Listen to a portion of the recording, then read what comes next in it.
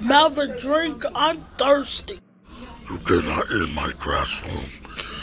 You make a mess. And, and you spill ice cream on the floor last time. Hey, teacher, may I go home early? You may not. It's already late. Let's go.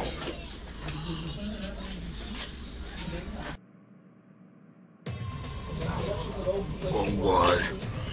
I can't reach out. I think we can figure this out together, Classic What do you think?